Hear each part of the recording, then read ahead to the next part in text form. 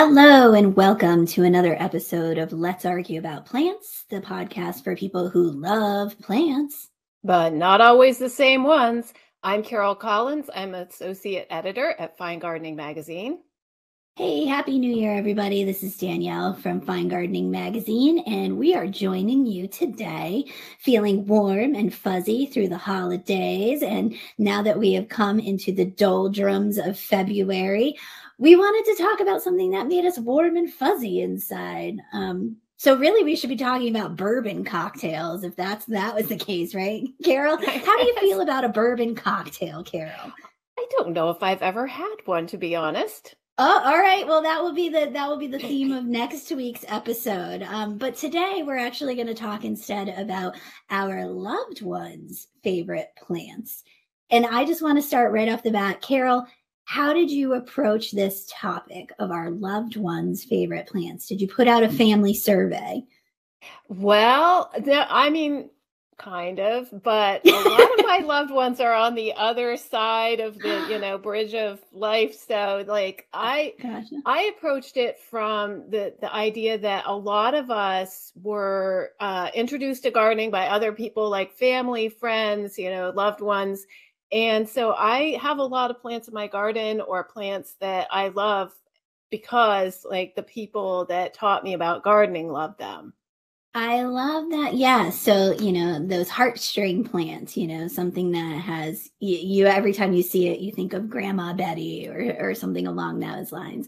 I like that. I like that. Well, I I went in an opposite direction. I I actually did put out a family survey, so I will have some some funny quotes to read off my cell phone of my family's responses to their favorite plants. So it, will we'll have a good dynamic going through this episode. so, um, Carol, all right, kick me off with your first plant. Who the loved one was that is attached to this plant, and uh, why you love it so much. Okay, so I'm going to start with one that both of my parents loved, and and it's an ephemeral woodland native plant that we would go on expeditions to go. You know, they would knew where some of these plants were. It's a perennial, and we would like go out in the woods, and it was like almost I don't know, like sacred. This plant, so it's lady slipper orchid that's. Cypripedium reginae, and it is so hardy. It is hardy from zones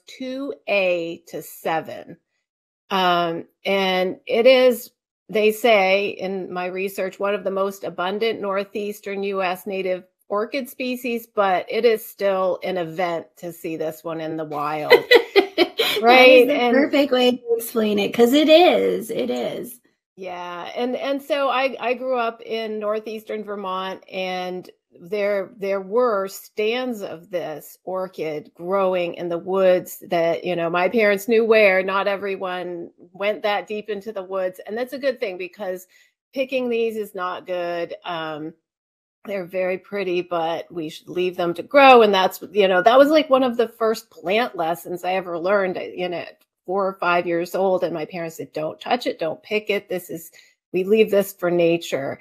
And um, it's it's gorgeous though. It's just a beautiful beautiful little plant. It uh, it gets about 18 inches tall a bit wider over time and and it can form like a really impressive stand over decades i think. Um, and it has these soft green leaves that kind of wrap around the stems and then the orchid flowers just like it's they they call it showy lady slipper the cypripedium reginae um it is it is so showy. It has this little you know slipper like pouch that is rose pink and then this it's surrounded by white petals. And um, I actually did have this plant. After my mother passed away in 2003, I was gifted um, you know, like a I, I was given money by a relative said buy something that reminds you, of her. And i got this from Cady's Falls nursery. And uh, layla herself taught me how to you know how to plant. It is not a beginner plant. I'm going to say that is not a beginner plant. It, it needs partial shade moist well drained organically rich soil neutral to slightly acidic and um, you you need to not disturb it. And so I had it in the wrong place. It had too much shade and it didn't flower for a year or two. So I moved it successfully and it and it did flower and I was so happy. And then we had to move to Connecticut. and I moved it to Connecticut and it lived in a pot for a year. It flowered in the pot. I planted it in the ground when we bought our house. And I think after that, the voles got it. You know, it flowered one year.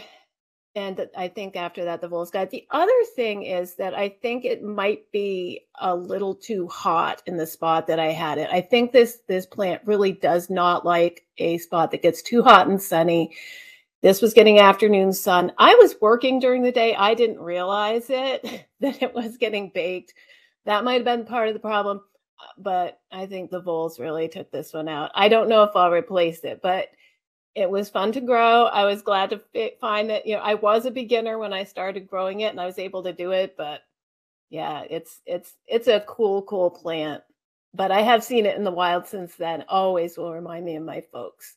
Oh my gosh, I love I love that because it yeah, I mean you described it in such a perfect way by saying you know you're hiking in the woods or you know you're you're uh, you know kind of exploring and you're off trail and you come to an area a lot of times right where there's you know maybe some pine needle litter going on and all of a sudden you if you see a lady slipper in the wild i mean it's just it's mind blowing you know? I mean nowadays we drop to our knees with our cell phones and you know try and take a picture of it because it is an event and it is such a rarity and i think um it also has that uh, like almost exotic quality to it because it's an orchid but we're in new england so the two shall not meet generally but oh god that's a that's a good one that is a good one and i love that you, so carol mentioned Cady's Falls Cady's Falls uh, nursery uh, no longer open unfortunately but that it was a, a, a, truly amazing gem of a of a specialty nursery that was in is it morrisville vermont that it it's was in Morrisville, Vermont. Yes, and that's where I used to work. I and I lived like five miles south of there in Stowe, and yeah, it was so nice to have that as my local nursery. and I went back there at and I didn't know they were closed and I was walking around and Dawn came out and said, "This is not open to the public anymore." I wanted to cry. I know. That was, yeah, that was a great nursery though. And it is. display garden. You did a photo shoot in their display garden, didn't you? Yes, we have them. If you look online at finegardening.com, and maybe we'll drop a link actually into the show notes for this episode. We did an article, yeah, and I got to do a photo shoot on the display gardens that were up there. And when you think of display gardens, you know, you think of almost like nursery beds, but no, these were some of the most spectacular borders that you've ever seen in your life. When when the when the peonies were in bloom there, it was it was an event. That will be our new phrase. It was an event. it's such a beautiful spot. Well, so um, I will take a parent a parent plant too, and I'm going to take my dad's favorite plant. Now, my dad is um, a technological guru. He works with computers. That's his mo, and he was not much of a gardener. For I would say the great majority of his life, he has not been a, a gardener. But um, I maybe within the last 15, 20 years, he has really, in his elder years, in his later years, has really gotten into gardening, and it's it's just something that brings him great joy. He lives in uh, Massachusetts, and just cannot get enough of the nurseries around his area. I swear, if I call him on a Saturday in spring, he is most likely at Weston Nurseries, which is right up the road from him, and he has a cart full of plants. But um, one of the first trees he ever purchased, and it was, you know, it was a little on the pricey side, was a Kousa dogwood, and he, you know, researched the bejesus out of this tree and was really, really into it because he loved loved dogwood trees when he was a boy growing up. The native Cornus, Florida, but had seen and experienced a lot of the diseases like the anthracnose that can really affect Cornus, Florida, especially in, you know, a cultivated garden setting. So instead, he decided he had read that they were disease, more disease free and cold hardy, these Kousa dogwoods. So he went and purchased one, full sun to partial shade, well drained soil, 15 to 30 feet tall and wide. So on the scale of trees, it's a smaller tree. Um, and this is my dad's baby. He planted this tree in his front yard and he has cultivated it and he has taken pictures of its progress. I think this tree literally has more pictures of its growing up than of me. You know, I, I don't think that he has as many pictures of like my childhood as he does of this tree's childhood. And, you know, now it's in the, I think it's about 15 years old. And on occasion, it's set little seedlings here and there. And my dad will religiously go out and scoop up the little seedlings and then he will pot them on. But he's convinced that he needs to pot them on for a series of five to six years to then give away to his loved ones and, you know, storied friends a healthy, well rooted Kousa dogwood seedling. Um, now I have one of them now in my yard or in my garden. It's about, I don't know, maybe five or six years old. I put a picture in it there, but this is just truly an awesome tree. It's a four season tree. I know a lot of people say that about trees, and you're like, oh, great. It looks like brown sticks in winter. But Kousa dogwood right now, what it has is once it gets mature enough, is this beautiful exfoliating bark silver tan muscular bark. It really does look like a camouflaged tree from from a distance. Then it puts out these beautiful oval kind of green a little bit of texture to them because they're very deeply veined leaves in spring which is awesome. Gets covered and i mean covered with some light white uh, they're not actually flowers, they're bracts, but they look like blossoms in mid to late spring. Um, and then you get fruit that follows. And the fruit kind of looks like a hybrid between a raspberry and a strawberry. And the birds don't like them as much as as the native hard seeded dogwood but they actually kind of wait until it's almost like rotten on the tree and then they swoop in and the fruits the drupes are gone within you know a day and a half um, but really, my favorite part about the Kousa dogwood, and I don't think it's talked about enough, and we've, I think I've mentioned it in one of our fall episodes, is it has truly gorgeous fall color. Um, so every year now, I go out when it's in its fall color and I take a little video on my phone and I send it to my dad and I say, Thanks for the tree, dad. I'm doing good so far. It's still alive. And then he has to throw in, But is it putting out any seedlings yet? And I have to say, No. Carol, I'm going to make you tell a story that you just told while we stopped recording. You have a Kousa dogwood seedling in your yard, correct? I did. And I didn't know that it was there. And my son used to go around with a stick and sort of beat down the bushes where it was getting overgrown. And I think this one got that treatment and it, it, it came through it and it thrived. And now it's like 20 feet tall. It's amazing. They, they ah. grow pretty quickly when they're young, right? And then they then do, they sort of mellow out. out. Yeah, in their old age, but yeah, it's it's so so much fun when they start to flower. It took about yes. I think 5 years or so before it would actually flower, but and they last longer too, right? Than than the they do than the Cornus Florida, trees. the flowering dogwood. Yeah, yeah. yeah. So for yeah. myriad reasons, especially since now we've learned it's child proof. It's a child proof tree. That's that's a that's a Kousa dogwood is a good one. All right. So uh, uh, what category of plants are we are we falling into next? Annual, perennial, tree, shrub, seedling. So I, I'm gonna do it. I'm gonna do a tree, and actually, mm. this is one that I another one that I have a seedling of, but it's a tree that really reminds me of my dad. Um, it's eastern red cedar. That's Juniperus virginiana, zones two to nine. And note that this is a juniper, not a cedar, despite mm-hmm. its common name. But um, my dad used to love to hang out at the Willoughby Forest in northern Vermont, and at in the, at that site there are some spectacular old mature red cedar trees and red cedar needs full sun and so it's not an understory tree. It's not something that grows well with other trees. And so these were are growing around the edge of this lake. Um, and they'll some of them are just leaning out to get the light, and they're so they're like over the lake.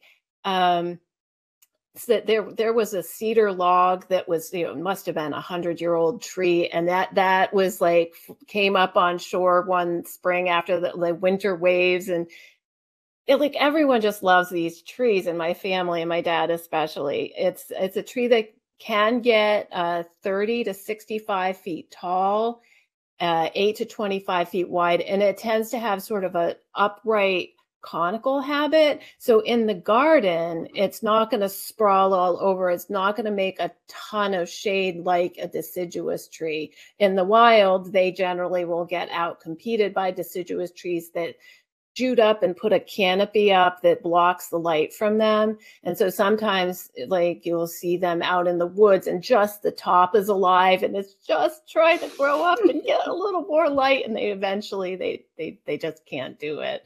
Um, but in the garden if you have a good spot for it, it's it's it's a very attractive plant it has needle like leaves, and especially on a young seedling like the one I found growing in my mulch and then moved into a better position in the garden, it is very, very, very prickly. But in an older tree, the, the leaves are more scale like and on older branches. So new branches, new growth, prickly, and then it has the scaly branches. It's dioecious, and so it makes these sort of berry like drupes. Um, that then develop the seeds and it has like this really good color sort of bluish uh, little green mixed in little silver mixed in. Um, it tolerates wind salt sand dry rocky soil. It's deer resistant the deer do not like the prickly parts um, and Bill Cullina included this species and the Western red cedar in Native Plants for Birds, which we had in issue 201. And again, I'll put a link into the show notes for that awesome article. But it has really good wildlife values. And um, the, the dense habit of it and those prickly you know needles keep predators away from bird nests. Uh, it's also really good protection for birds in the winter. And it the they a lot of birds really love those drupes and get a, a lot of nutrition out of it. So it's like it's a it's a good eco-friendly plant that actually it's it's native to most of eastern north america too. And if you're not in eastern north america there is a native species for you too. Um, yeah an awesome plant and not one that I usually think of as like a garden plant, but it's like really easy to transplant. And like I said, I got one. I don't know if it came from my neighbor's red cedar across the road or from the mulch itself that it was growing in. but I, you know, I found this adorable little seedling and I looked it up, figured out what it was. I was like, yay, it's like hitting the jackpot. That's so oh man, yeah, a mulch plant. Yes, that is the jackpot. That's like that's better than a compost plant that pops up in the compost. So I'm I'm curious if it's almost like it evolved that when it's small and probably more vulnerable to wildlife pressure from like deer eating it and stuff, if it evolved like it's really spiky and very very much unappetizing at that small stage. And then once it gets big and it's kind of out of that that realm of being nibbled on by deer and, and rabbits and everything else if at that point it's like oh okay i can soften myself up now. I'm, I'm in the clear. I'm in the clear. It's just my mind thinks in that way. I'm like, oh, evolution is amazing. it is. Yeah, definitely the prickly ones probably survived, especially around here where all the deer are, right?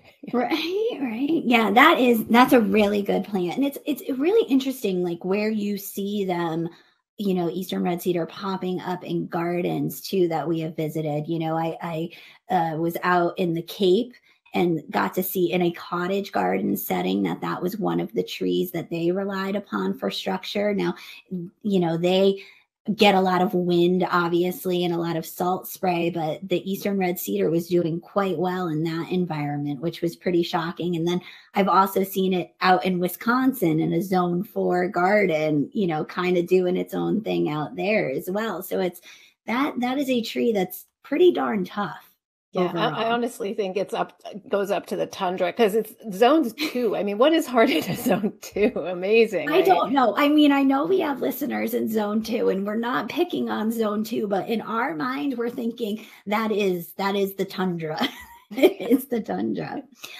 All right. Well, you know, I don't I don't do a lot of perennials. We all know that. I'm forced sometimes to talk about perennials. I do love perennials. I really do, but I I tend to not talk about them on this show enough.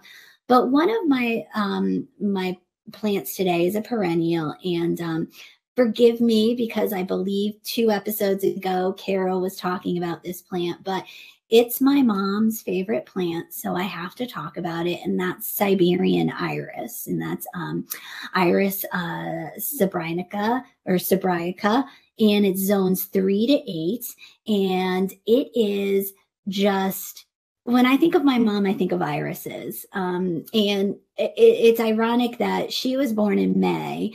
So she loves this flower. It's her favorite flower, both as a garden plant and as a floral cut flower that blooms right around the time that her birthday is. Um, so my my favorite memory surrounding it is you know we grew up very rurally in uh, central connecticut in the woods and there was an old abandoned farmstead that we could ride our bikes to. And around this old abandoned farmstead that was kind of off this logging road there was a stand of these siberian iris that i can only assume had been planted by the farmer's wife eight bazillion years ago. And we would ride our bikes for my mom's birthday and yes, trespass onto the land. And we would pick a few irises for my mom and then ride our bikes back every May um, for my mom's birthday. And that's, I just, I always see those now blooming, you know, on the side of the road or in somebody's garden. And I think, oh God,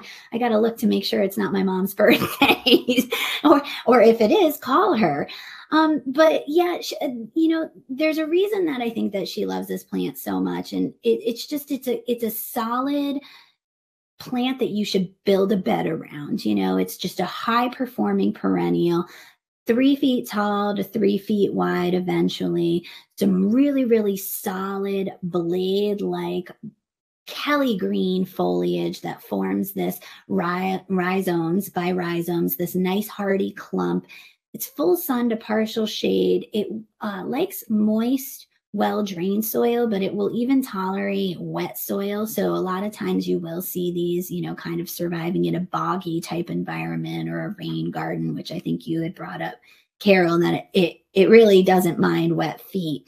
Um, so the the main event though is you know for us it's late may early june. So late spring early summer you get these really really hardy kind of darky darkish purple stems that shoot up out of the center of this grassy like clump.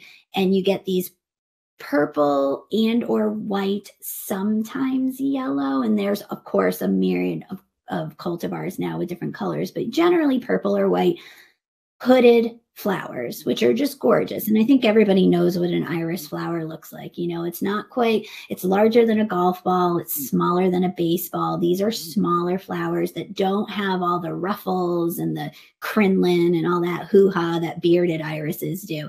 They're just a very simple, pure iris blossom. Um, I will say that, you know, if you don't have the real estate for Siberian iris, um, try crested iris. Um, and that is, I would say, Siberian iris. It is the small dwarf ground cover version of that. So, you know, it's you're going to get that same bluey green foliage. It's only going to get to be about mm, maybe nine to 12 inches tall with those same slightly lighter purple flowers over the top of it. But if you're looking for something that doesn't take up quite as much space as Siberian iris, crested iris is another favorite of my mom. Um, and and my mom wanted to make sure that we knew that it is a beautiful companion to peonies, which came in a close second for her favorites. But um, yeah, Siberian Iris, I think it's a winner. Um, and I felt confident in recommending it because I know you just recommended it too, Carol, as one of your like, I think you said winter's worst, right? It was a it's a plant that's really good at in through the winter weather as well. Yeah, super super hardy. Yeah, I love it. I mean, it reminds me of my mom too. Yeah, it's a super awesome plant. All right, so we're coming up on plant three. We have we have covered some loved ones. We have not covered other loved ones. Who's the next loved ones plant that you have, Carol? All right. So this one's for Grandma Violet. And um, what a great name. Ah, is her favorite plant violets? So everyone would give her things with violets on them. So she had like violet soap dishes and like violet hand towels. And yeah, I did not choose a violet for her though. she, she, was, was probably of, like, "Stop giving me violets. My favorite is a rose." she did love oh hybrid teas were one of her favorites too. Oh, oh she just she was like one of my very first like serious gardening uh mentors. Like she showed me that you know, although my parents' vegetable garden was awesome, like there were other things you could do with the garden, and mm-hmm. she she had a lot of really great plants. She was also the family member that got the White Flower Farm catalog, and you know they send you like a lot of them, so I would get an extra one, and I would look at that more than like any teen magazines or you know Vogue or whatever 17 magazine. I would instead be pouring through the pages of the white flower farm catalog and just dreaming of someday when i could have a garden. Um, i love that. yeah so but this is this is a plant and i, I was thinking about it I was like okay not a violet i get that you would not want it to be a violet grandma what what would it be? And i and it just came to she's like do do trailing arbutus and yeah so ah. i have this wonderful memory of we were there for um, spring break, I think. We would go over, they lived about an hour away from us in central Vermont. We were in northeastern Vermont. And um, so I remember she said, when we drive home, we're going a, a, different way because someone had told her about a wild stand of trailing arbutus. And she was like, we have to see this. And um,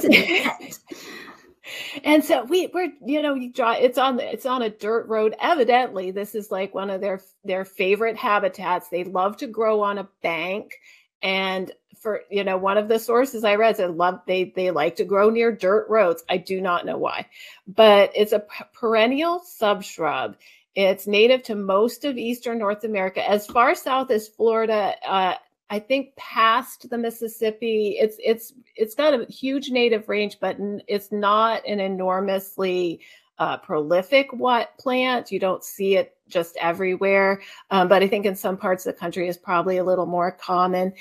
Um, it likes partial to full shade. It likes moist, well drained, acidic soil. And so, in, if you're looking for it in the wild, look under oaks and pines because they also tend to like that acidic soil um, oval, leathery, evergreen leaves. It's sort of like mm-hmm. a dark olivey green, um, you know, pretty but not like crazy pretty.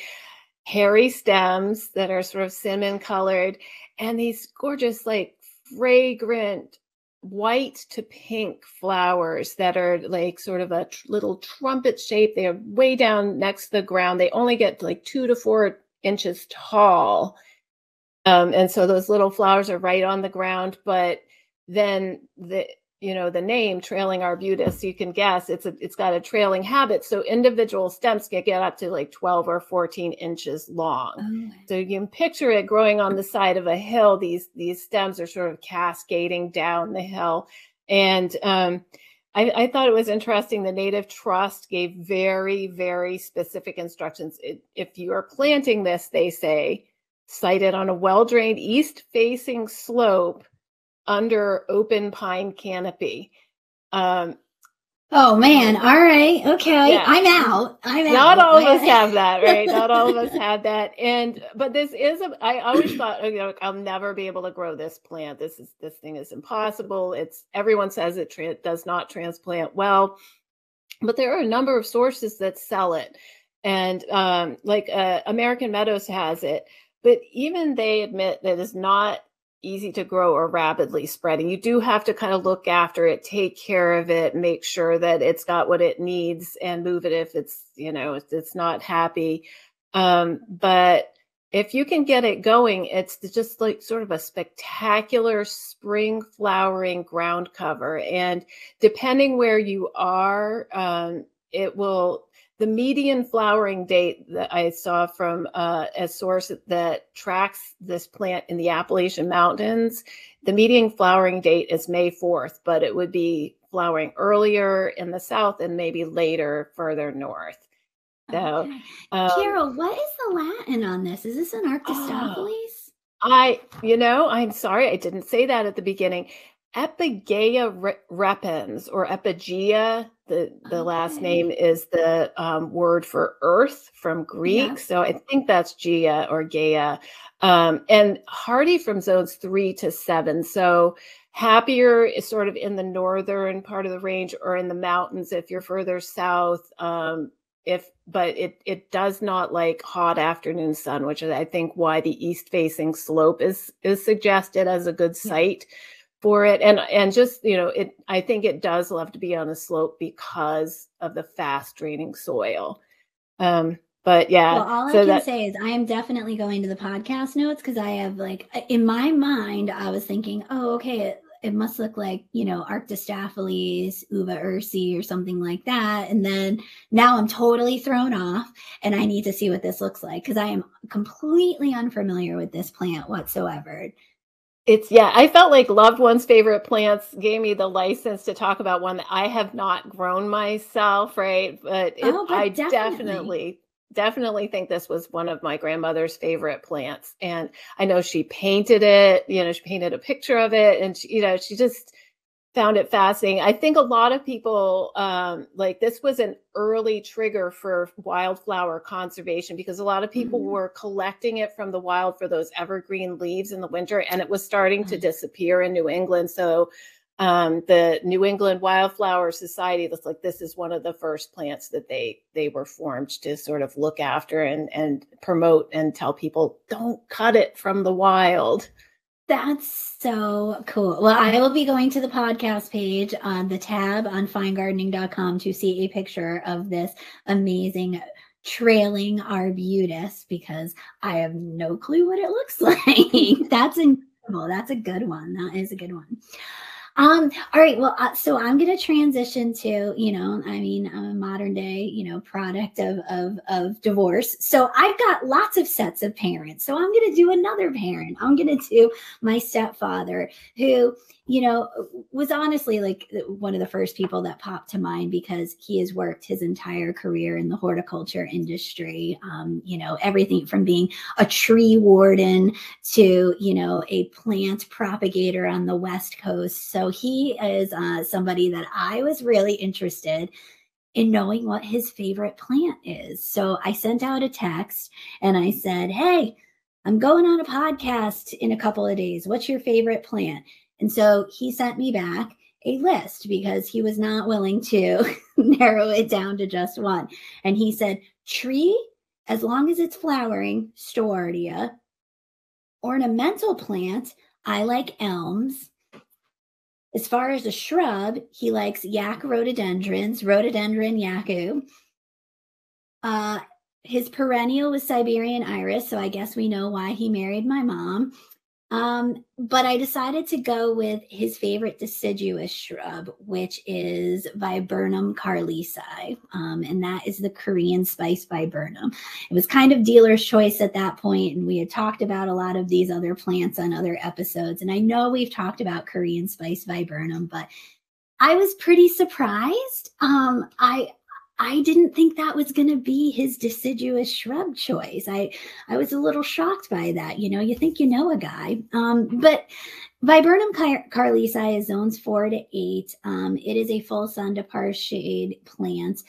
I'm going to give a large uh, size range, four to seven feet tall and wide. And here's the thing most people prune it pretty religiously to give it a nice shape because if left to its own devices, Korean spice viburnum is a little unruly. Um, and I will full well admit, I let mine get a little unruly. So it is about seven feet tall right now and about maybe four feet wide in my garden, kind of the place. But I really don't want to prune it that much because the main event with this plant is the flowers that appear in late spring. And it has these clusters of small star like white flowers that actually are, start out as pink buds. So you're constantly getting that, you know, that kind of is it pink? Is it white? I'm not sure.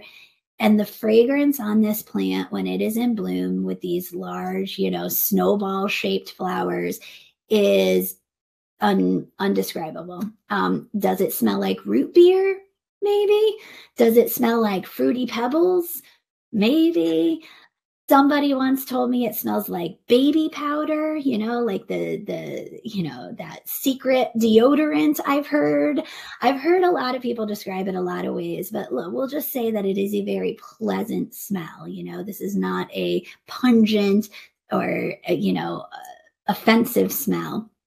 Um, so it is a really beautiful shrub as well. It during the rest of the year, it has these glossy, small, oval leaves that are a little crunchy. They've got some substance to them. And as a matter of fact, even though it's a deciduous shrub, a lot of times these leaves, especially for us, you know, I'm I'm in a zone six, those leaves are still hanging on in my garden. Um, generally by uh, end of February into early March, they just give it up and and they all end up eventually falling to the ground. But it quickly pushes new growth in the spring. Um, it's one of the first things that gives you those little spring signs of life. You'll see these bright green leaves pushing out of this silver bark that it has. Um, but it's just a really, really interesting shrub. It's um, just I think it's easy to incorporate into, you know, within other areas of your beds that you've got shrubs and perennials because it's a, you know, it, it harkens back to maybe a cottage garden style that you really, really, uh, I find easy to work with when you've got a lot of, you know, mixed border going on in your gardens. Um, I should mention that the uh, flowers do give way to these kind of blackish blue drupes. And again, this is something that the birds don't immediately flock to, but it's almost like they wait for them to kind of start to age out on the shrub and maybe probably soften up a little bit, maybe sweeten up a little bit. And then, especially wrens seem to go bananas over these black drupes um, a little bit later in the summer, and they just come and scoop it all up. Um, it's a really great shrub um, and i was just it was, it was pretty surprising that that was my stepdad's pick and i was i was pretty interested to talk about this very i would say feminine shrub that he really likes. I think he probably likes it too because he loves to prune things and then this is a shrub that requires a lot of pruning if you decide to go into that more structured shrub like appearance all right, we are barreling towards the end here, and we've got one more plant and one more loved one to discuss. Carol, who is rounding out your list for loved ones and their favorite plants? So this one is sort of a family favorite of multiple people that that uh, like my parents, my both sets of grandparents love rhubarb. And so I was oh. doing an edible and my a lot of my family especially you know my parents were sort of back to the landers in the 70s and they always did an edible garden and only later did started doing um, ornamentals. So there was always always always vegetables and this is a perennial edible which i think is interesting. There aren't too many of those. Um, so the uh, the the cultivar that our family grew, we called strawberry rhubarb, and I think it's you know there are probably a lot of cultivars that are called that. Uh, it has red stems. It's Rheum rhubarbum. No, it's Rheum rhabarbarbum. I think it's got rhabarbum. rhabarbarbum. That's okay. I murdered yeah. Sabronica earlier, so there you go. and it's hardy from zones three to eight. Um, it likes full sun, or if you are in the sort of southern part of the United States, even uh, zone six or higher, which is a lot of the United States is, is zone six or higher, um, it will want some afternoon shade. It doesn't like a lot of hot afternoon sun. But uh, it it likes sort of moist, well drained soil, uh, average garden soil. It doesn't really prefer poor rocky soil. Um, but it the other thing that really can't take is wet soil. That's the one, you know, it's it's otherwise pretty carefree, but um, it cannot be in in water any at, that's standing at any time of the year. So my grandparents grew it in a mounded bed that was near their vegetable garden. They had about four plants, which is sort of the recommended, you know, if you're going to be harvesting this, you need multiple plants. Um, it is super long lived it will it will go in the same spot happily for decades. I, I, my entire childhood it was the same plants that we were getting rhubarb from every year. Um, and i think it's very attractive and could easily be incorporated into an ornamental bed. It's got a mounding habit. It has these huge dark green leaves on the red stalks. Um, and a lot of people don't let it flower because they think that it will make it less productive. But um, the the laid back gardener that that sadly recently uh, late laid back gardener Larry Hodgson says don't you don't have to worry about that. Let it flower. Enjoy it. It's spectacular. The, the, flowers get about they can get six feet tall on a mature plant. They're ah. frothy white flowers that uh, they kind of looks like this like a giant white astilbe flower. Mm-hmm. um, so I would say if you're growing it, don't worry about it. Let it flower. It will come back fine the next year. You can cut it after the flower finishes so that it doesn't set seed. But um, if if you have it in a spot that it likes, it will eventually get three feet in diameter, and and you know it'll just sort of hold that spot for as long as you want it there. Um, for folks who are unfamiliar with rhubarb, if you didn't grow up with it, do not eat the leaves. That's one thing.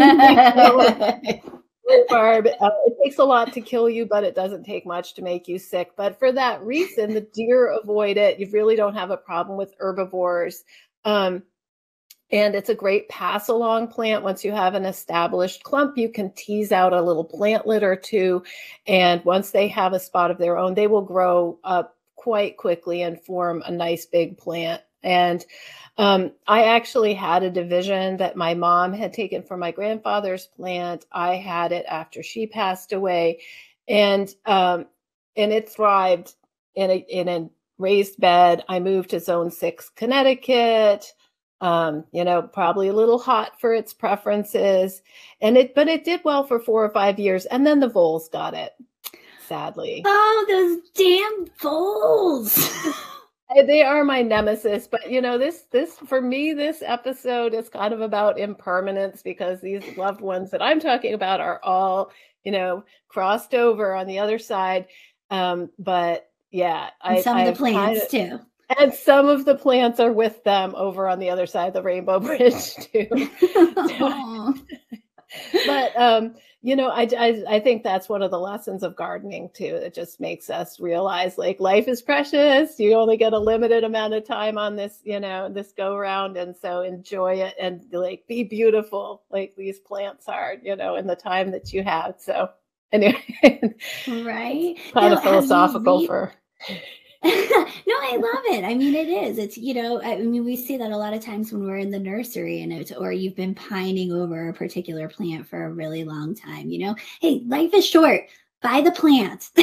Exactly. plant the plant do it just do it um but i'm i'm curious because you are such a big vegetable gardener have you replaced rhubarb do you are you now do you have rhubarb in your garden now I'm thinking so this writing about it, thinking about it, I think I do need to replace it. I hadn't replaced it yet. And I don't know I was so attached to the idea that it had to be my grandfather's rhubarb, mm-hmm. but any rhubarb will remind me of them right? It's, yeah it's, yeah. I, I, yeah i am i'm gonna get some more definitely. Well and you do have a kiddo that you might need to pass down a piece of said rhubarb that you start growing and just continue that family tradition. I'm just i'm just saying you know there there might be a day that your son is like i need a piece of rhubarb ma come on.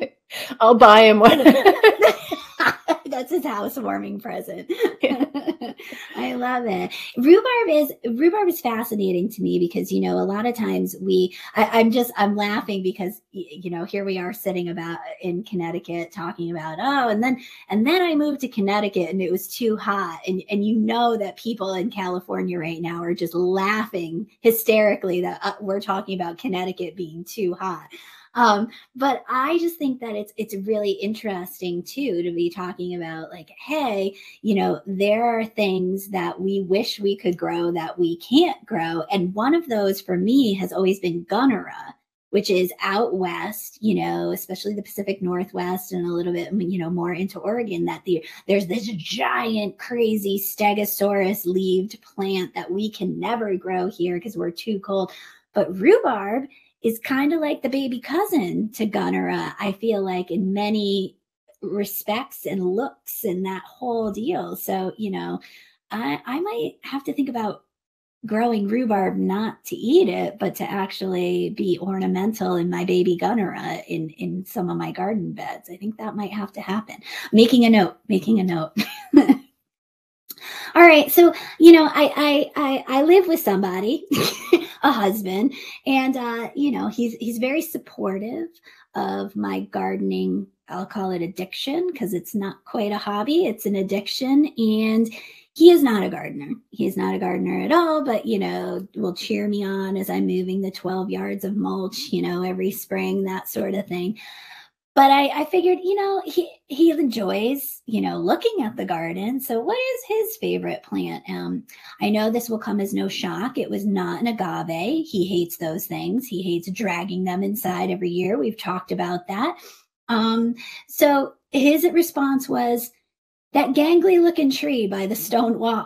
and I was like gangly looking tree by the stone wall. I don't have any gangly looking trees. But no, he was right because it's the Horstmann's recurved larch that I have down there, and that's Larix decidua, Horstmann's recurved. That is zones two to seven. Man, zone two, we are throwing you all sorts of bones today.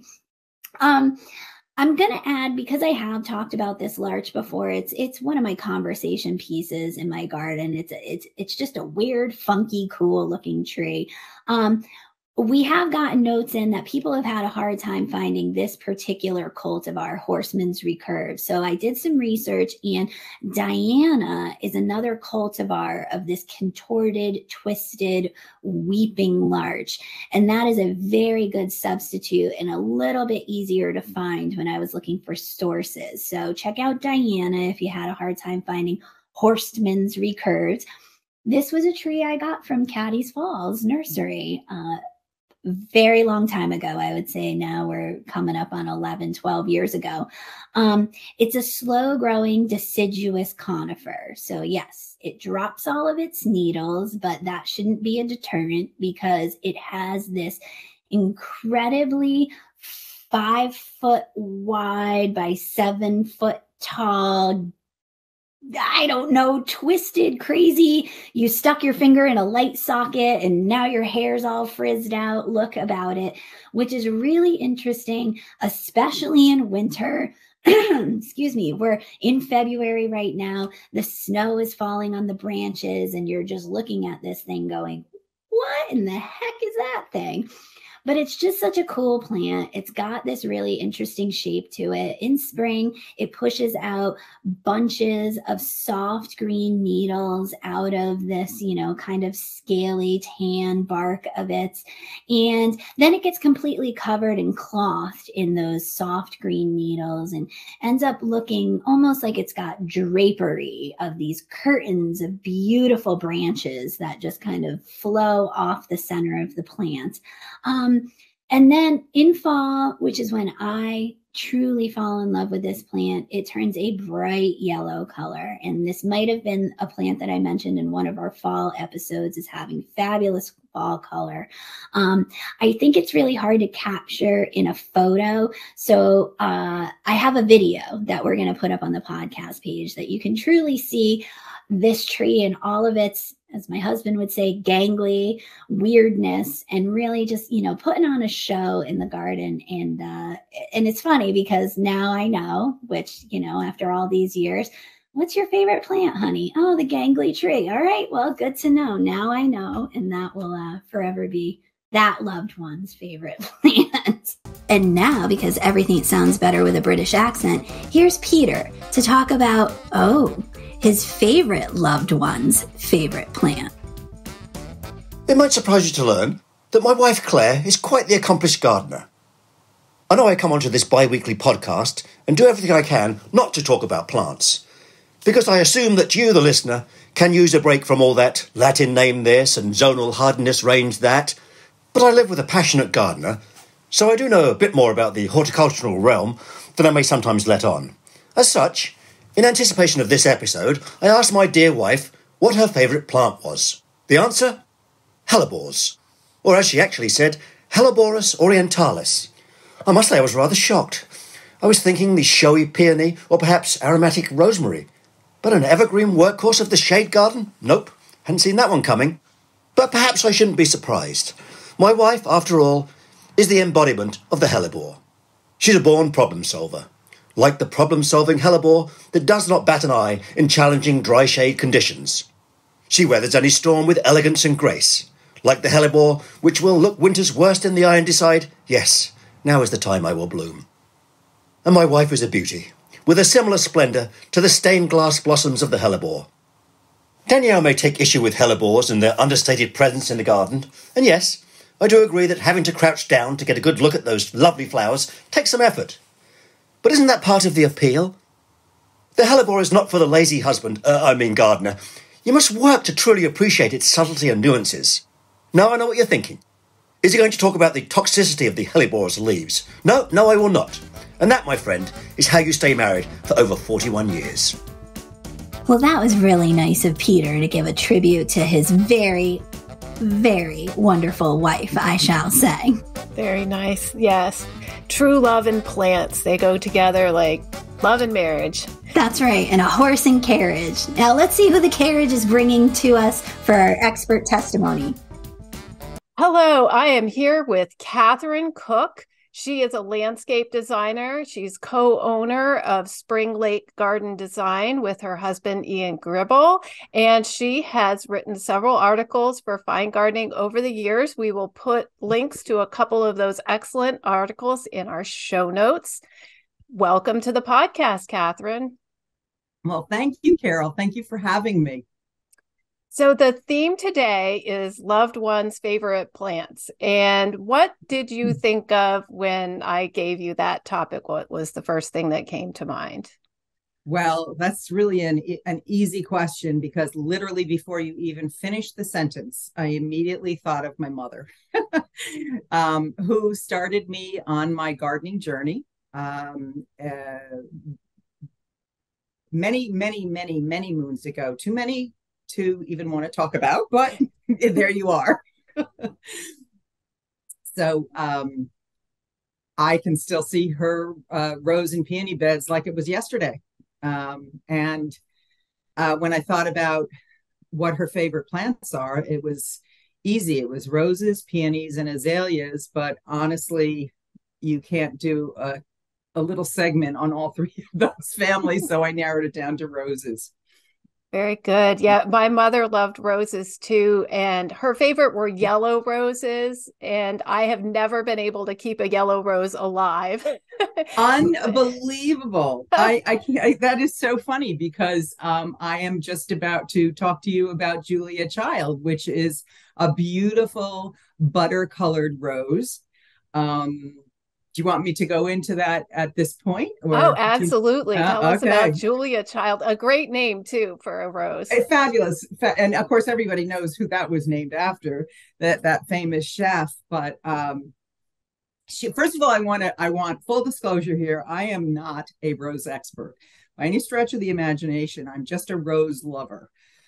So um, my only priorities uh, when buying roses are going to be that they are um, disease resistant, that they are fragrant, um, and uh, that's really it. Uh, repeat bloomers are great, and Julia Child is a repeat bloomer, and her color is a butter yellow, but the just the color is what gets me on that rose because it's just such a subtle color, and um, apparently uh, she chose that rose because the color reminded her of butter which as a as a chef she loved butter in her dishes so um, that that was a that's a funny little aside um, you're talking about julia child that yes. she she got to choose the rose named oh that's great that's isn't fantastic. that great yeah yeah and, yeah and that's the, apparently tom carruth who was the uh, breeder uh, introduced by uh, tom carruth um, he likes to to tell that in his lectures um, about about the the rose. Um, she that you know some people describe the fragrance as like a spiced licorice. I can never sort of verbalize what I'm smelling when I'm smelling roses. It's just I don't really care about that. I just love to smell good roses. Um, and the amazing thing about uh, Julia Child is that she is uh, she's hardy from 4A through 10A. So that, you know, that's quite a range. Um, but I can only I only got her to about three feet high and wide when when she was in our garden and and and it was kind of perfect conditions. So um I think that the fact that I called uh, my friend Carol Patterson, who is the vice president of the Santa Monica, no, so, sorry, Santa Barbara um, Rose Society, um, and um, she says it basically is a staple, a Southern California staple, and so that tells you a lot about that rose. I think that it it's it's big in the Santa Barbara Mission Gardens, um, and I have a feeling it grows a lot bigger out there and for a lot longer time of bloom, obviously because of of their climate. Um, one thing that I was uh, kind of confused about, and this goes to my non-professional uh, knowledge of of roses, is the um, there was four crosses that made her, not just two.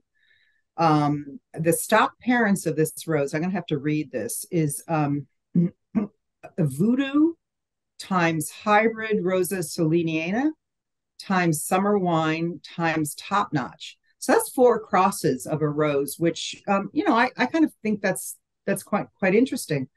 Um, Tom Carruth uh, introduced this rose in 2004. Some say 2006, but 2004 was the year Julia Child died.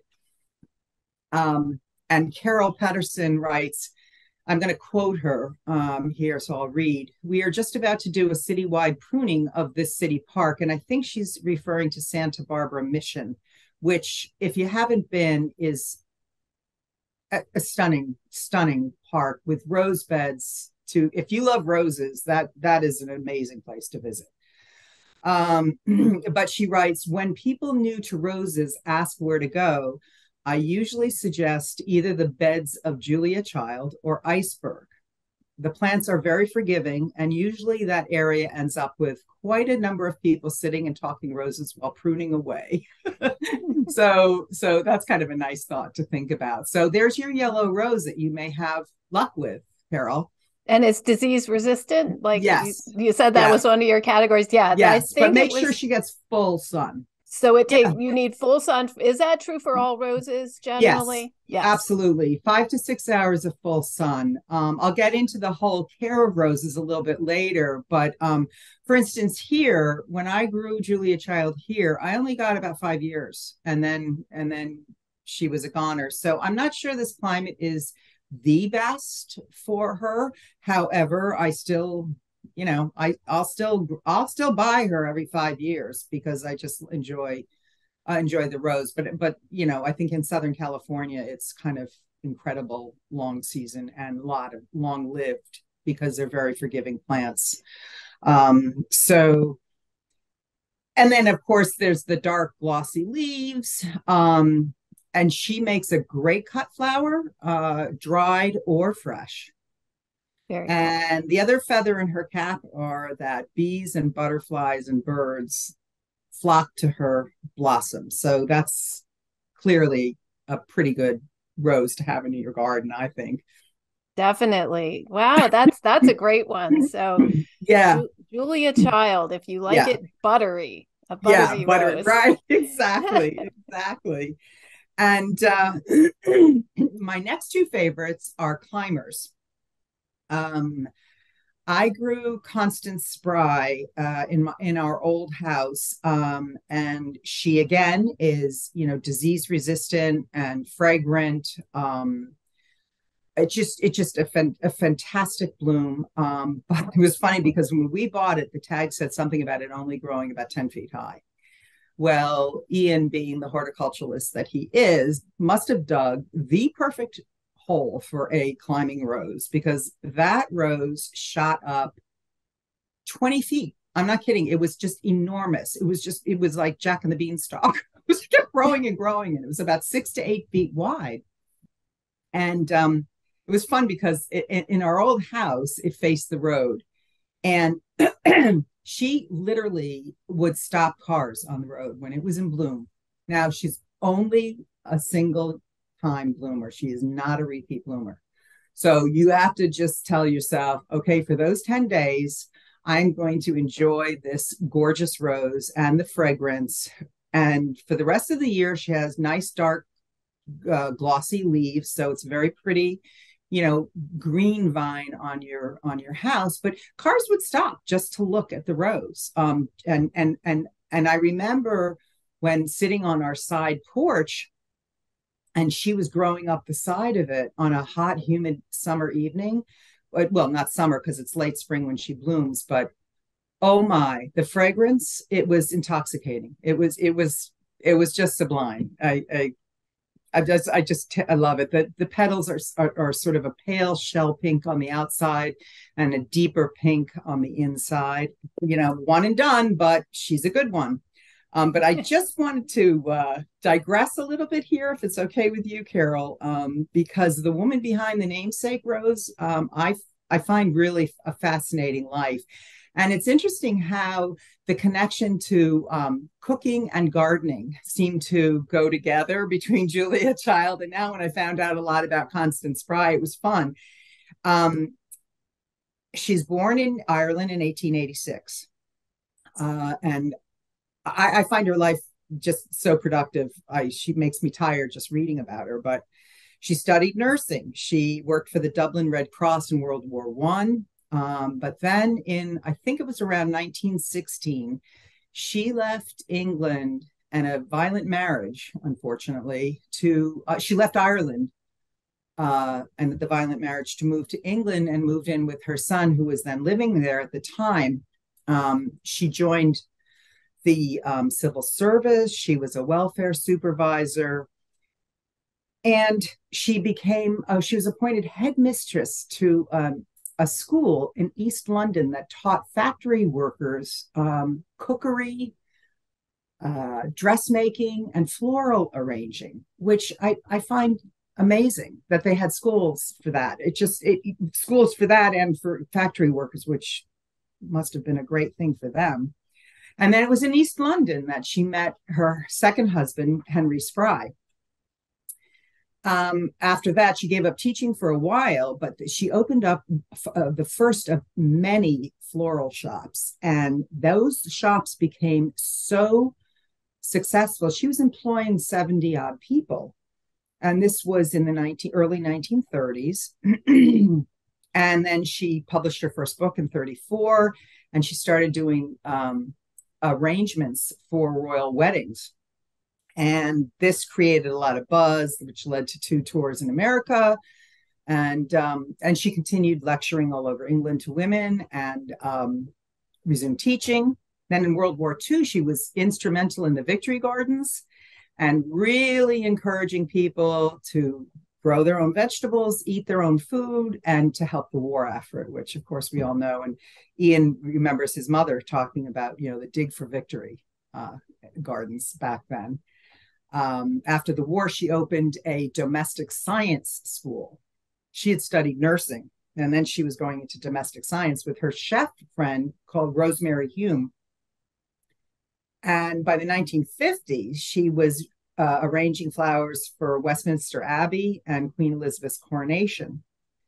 Um, and in fact, Hume and Spry were the ones that did the uh, uh, created the dish, the, the, quintessential English dish called coronation chicken for Queen Elizabeth's coronation. So that was cool. But then by then, now we're in the 50s, she was really instrumental in bringing antique roses to the fore. She was began cultivating roses in a very, very serious way. And then at that time, David Austin was uh, an amateur breeder and he crossed, let me look here, Gallica rosa Belle Isis with the Floribunda dainty maid to create Rosa Constance Spry. And um, I think the person, Constance Spry, I think in all she published about 13 books um, on floral arranging, cookery, and gardening. Um, and she died very suddenly in, at the age of 74 by slipping on steps in her home and died an hour later after falling. Oh my goodness. I know. Not a nice not a nice end, but um uh 1960 wait, that was 1960 and in 1961 David Austin showed Graham Thomas his cross of that created Constance Spry and that was introduced in 1961 and Constance Spry is generally thought of as the um first of the modern English roses. So that's just a little a, a, a little backdrop for a, another amazing woman in history who has lucky enough to have roses named after them. yes. Oh my goodness. Danielle and I were talking in the main segment about the the stories that go with plants and how some, sometimes the stories are you know sort of the best part or so this is this definitely proves that point doesn't it? Yeah and what an interesting person. Yeah and and some people have called her a renaissance woman. I mean for for a woman in those times to accomplish what she did i think was quite extraordinary. And uh so yeah so that that's a, a, little backdrop and but again the only downside is that she only blooms once but that's okay uh, for me personally. But if if uh, you're looking for a repeat bloomer that's sort of i don't think i don't think new dawn is as vigorous as uh, constance spry but she's a repeat bloomer. She's a shell pink uh, color fragrant disease resistant and of course, very popular. I mean, I think this rose is sort of known by everyone. Um, and it was um, New Dawn is a sport of um, Dr. Van Fleet. Um, and it grows anywhere from eight to 15 feet, depending on conditions. Um, I said disease resistant, lovely fragrance, and uh, the dark green leaves with lots of red hips in autumn. So, this is the gift that keeps on giving, I guess. So I, go ahead. I imagine you could grow it together with Constance Spry so that you would have, you know, when she was done blooming, you would have a chance of more, you know, more of those pink flowers. Actually, that's a together. great that's a great idea. That's a really great idea and one that I never thought of. But that that's a really good idea. I know a lot of people grow Constance Spry and and New Dawn with clematis, of course. Yes and you know you would choose a clematis that would bloom after uh, you know I, I think constance spry is sort of you know uh, late spring. And so you want a later blooming clematis to keep the party going. Or if you want a really you know statement look do it all together and just you know have a have a party. Because it's, it's it's a beauty. Um and you know we we have friends who when uh you know, it's kind of like um, magnolia butterflies. That that is also a butter yellow bloom. A very short-lived bloom, but man, when she's blooming, we have friends over just to just to see it, just to see it. Um, you know, so right. it's like an event when some of these it's an event. Bloom. Yeah, yeah, yeah. and and that's cool. okay. yeah. Cool. So so, uh, but you know, talking about um the, all of these three roses check all my boxes: disease resistant, uh, good fragrance, and um, they they also um, are soft in color. I, I like the sort of softer colors, the more subtle colors, and and that kind of brings me to something else, which also um, I'm I really I've always paid attention to. I, I was a, a photo retoucher in my past life, and so I'm very aware of color and the relationships of color.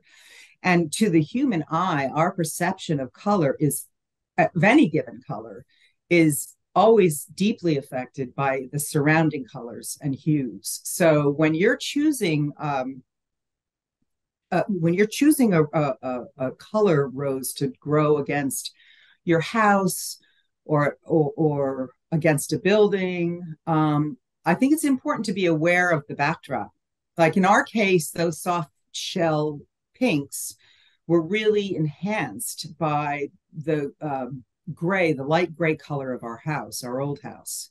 Whereas now our new house is sort of a deep brown cedar, um, and it's it has a well, the whole property is different, so it has a different. It doesn't have a different feel, but I think that if you're growing a trellis, uh, you know, on a freestanding trellis, a rose, or, or a climber of any kind, maybe the color is less important, and it just has to do with what you like. Um, but you know, if you're doing it against a building, I, I think that's a to really pay attention to how the color responds against the building. And and I'm in good company because Carol Patterson, I keep mentioning her, but she's such a wealth of information, wrote me that Dan Bifano, who is a master rosarian, and also she calls um, a gardener or designer to the stars. He does, he's uh, Oprah's rosarian and um, Barbra Streisand. So, yeah, we're in good company here he she writes and i'm going to quote her um, that dan bifano also considers backdrops when selecting roses for the beds at the santa barbara mission gardens for instance rosa julia child's buttery yellows complement the sandstone face of the mission so there you go there you go um I, you know don't take my word for it so um yeah, and you had um, talked about pairing for, for roses earlier. Pairing. Um, pairing, yeah, mm-hmm. the rose care, you know. Yes, sunlight, rose care. You know, those, yeah, rose care. Um, and they, you know, pretty much all roses want a good six hours of sunlight, but um, really, an east-facing exposure is the kindest exposure, um, especially for roses, because that morning sun will burn off the nighttime dew and um, prevent fungal diseases. so that's something, and good air circulation also prevents that kind of fungal disease. Um, the other thing to know is that watering, uh, this is good to know about all plants. Water deeply because you want to train the roots. You you know, let let's say it's really dry and and the roses really need water you want to cr- just put a puddle around the base of the rose and let that seep in as opposed to using a sprinkler because a sprinkler can encourage also foliar diseases. So it not only do you save water by by putting the ro- the, the a slow drip and deep water onto the base it encourages the roots to grow downward. Um, you want to encourage all roots of all plants to grow downwards where there's more constant moisture um, excuse me, and and you know, of course, mulching mulching helps, you know, as well. Uh, Absolutely, uh, and they like a nice fertile soil. Is that correct? Absolutely, absolutely. You're giving me a great segue because feeding feeding roses. I go back to my mom. Uh, this was her. This was her thing, and and I I still live by it. Um, you start feeding roses after the forsythia uh, stops blooming. At least this is true for the Northeast. Um, after the forsythia stops blooming, that's when you start feeding roses. And we only use organic fertilizer. Um, uh, and she also told me peonies, which I, I know we're not going to be talking about peonies here, but again, they need their best time to feed is in the fall when you've cut them back and you cover them with dehydrated cow manure. And then over the winter, it just gently seeps in. So by the springtime, you get a fantastic bloom. But, you know, so those different feeding times, different, you know, different feeding schedules for different plants, which is good to know. Um, they're both heavy feeders, peonies and roses. So, you know, we use uh, organic fertilizer, but um, I'm going to end here with, uh, uh, again, a quote from Carol Patterson. She writes, This is great because I relate to this completely. I am a lazy rose gardener. If the variety doesn't do well in my garden with my limited care, the shovel comes out and the plant is given away. I don't spray chemicals in my garden, but my favorite fertilizers, this is great, this is great, um, are alfalfa horse pellets. And make sure they are only pressed alfalfa with no added salt. And fish emulsion that I apply with a hose end sprayer a couple of times a year, usually in the spring and fall, at the base of the, you know, at the base of the plant. So there you have it. Very good. And I love that it's organic too. These are organic tips. So yeah Fantastic. yeah you want to encourage the bees and the birds and the butterflies and you know if you're going to use um, pesticides and herbicides and nasty sprays it's just defeats kind of the whole purpose of encouraging nature in your garden i think yes Absolutely. Well, thank you so much. It has been such a pleasure hearing this, these stories and hearing about these fantastic roses that have such a connection for you. Yeah, they do. Thank you. Thank you for having me. Well, Carol, I will say overall, I, I love this kind of off topic topic that we did today. It was something a little bit different. And, you know, I, I loved hearing the stories behind everyone's loved one's plants. Yeah, and it just makes me realize like loving plants is partly about loving the people that, you know, shared the plants with you or shared their love of plants with you. It's it's I, yeah, I love it for that reason alone. I love gardening. Me too. Me too.